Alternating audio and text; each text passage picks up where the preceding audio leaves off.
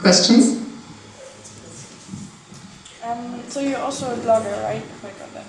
I did blog. So I started blogging in 2010.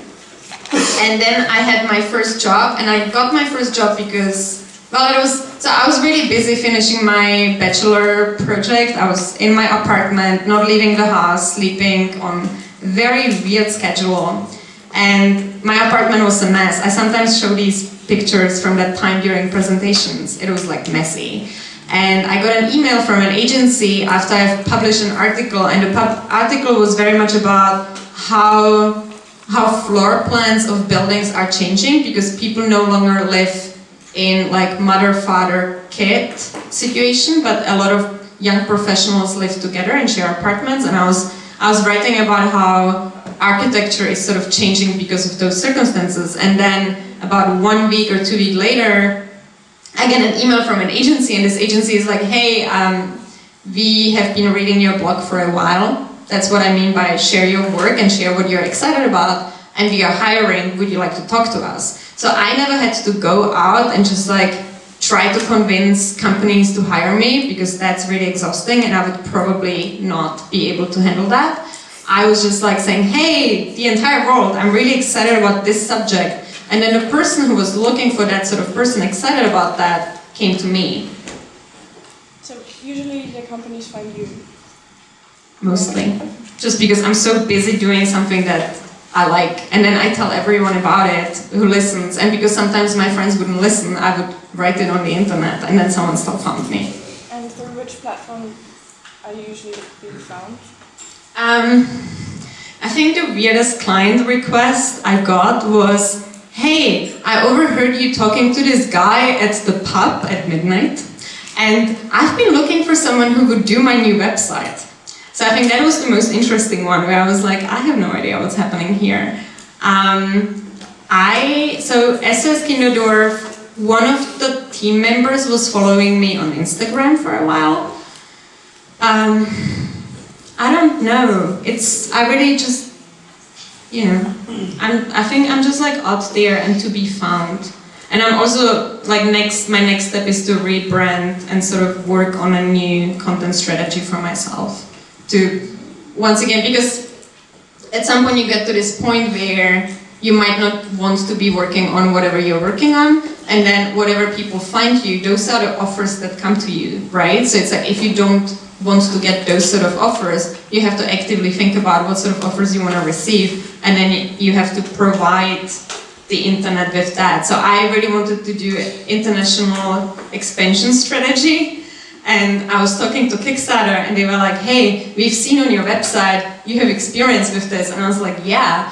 I did, but it was a failed experience, but it still worked with them. So it's like, you can, you know, sort of make make the case for someone to.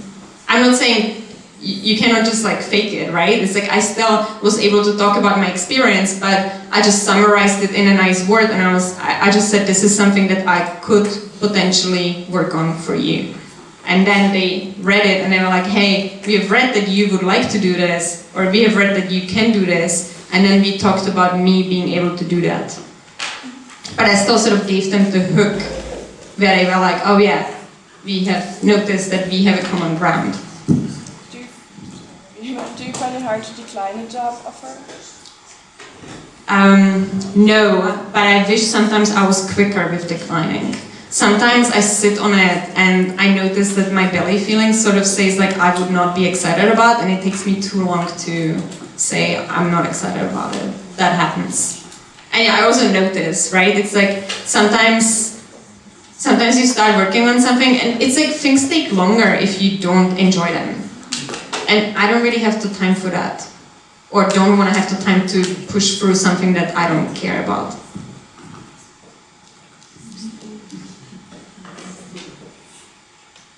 What's the worst thing about being a freelancer? Well, you do have to leave the house. because you don't have to, but you have to make the effort. I think you just have to you have to make a lot of decisions. It's like half of your job is to make decisions. And sometimes a lot of people struggle with making decisions. I mean, they hire managers just to make decisions, right? So it's like you're sort of everything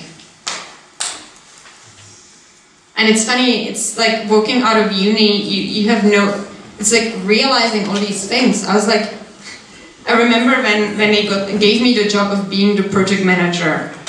It's like, sure. And then I realized that the project manager is someone who doesn't actually produce the work. It's just the person who is informed about what everyone is doing, trying to keep everyone on board. That's a job. I would never, you know, it would never come to my head before that you can do this as, as a job. But you can.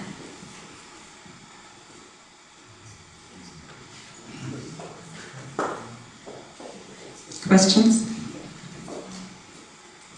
What did you major? Oh yeah, so I have a BA in interior architecture, which might be why I like to think in systems, because when you think about how a building is structured and how a building works, you sort of have to think about the system and how people move through it. And then I did a master's in fashion communication design, which was again about how the cycle of fashion functions. So it's like, what's the production, the sales cycle, what's the communication cycle to the public. I was, I didn't really care as much about the beautiful side of that. I wasn't really into what's the fabric and what's the material and what color. I didn't really care. I was like, okay, how does this function?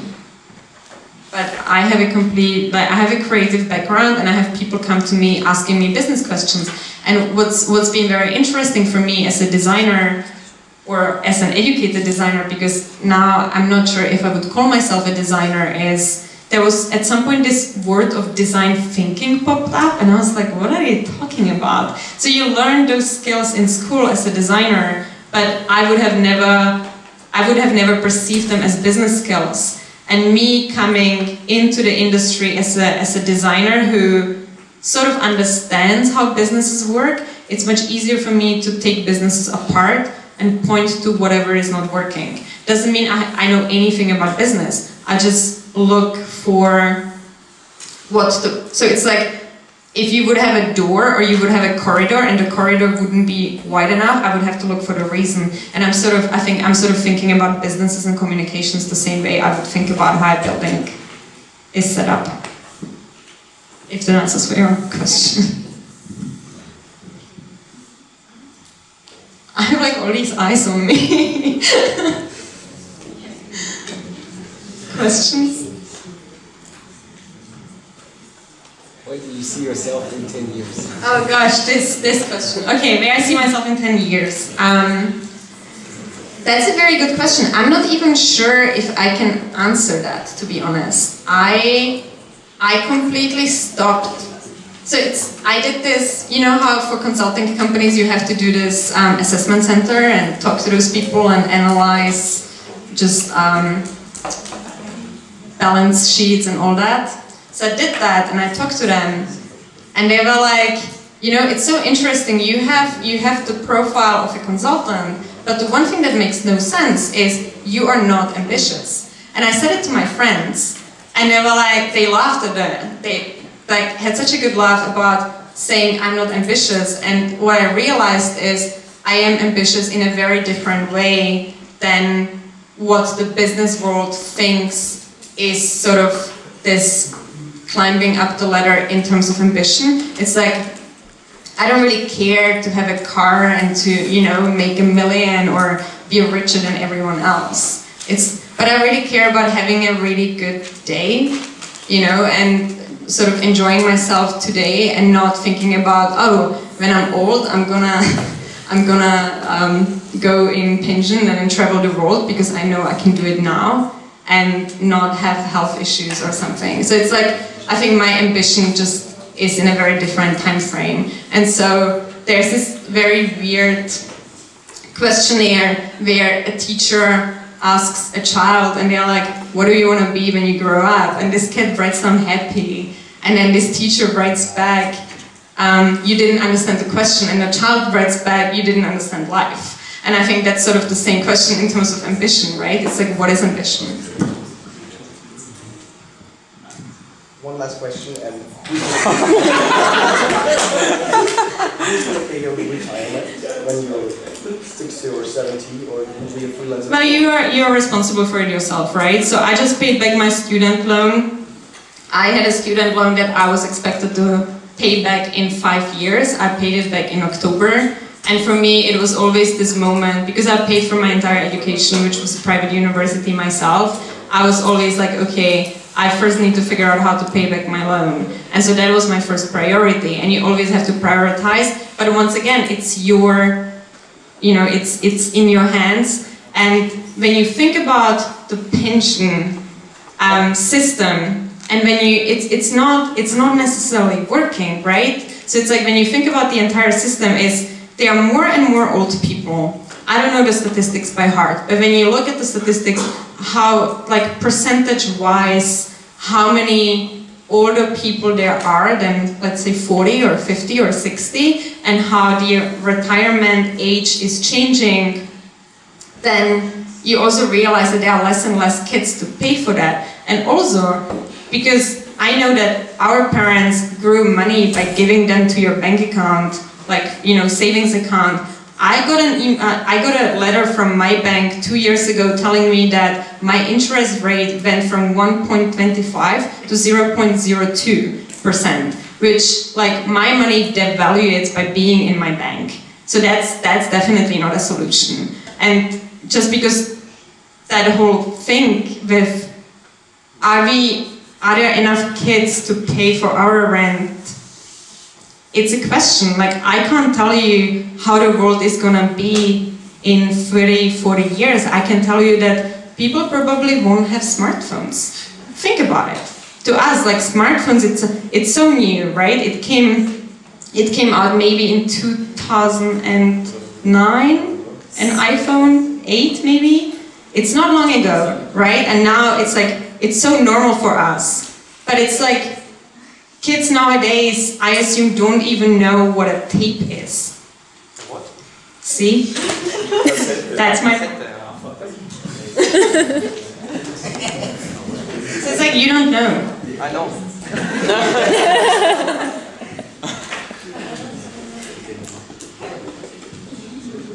Any more questions?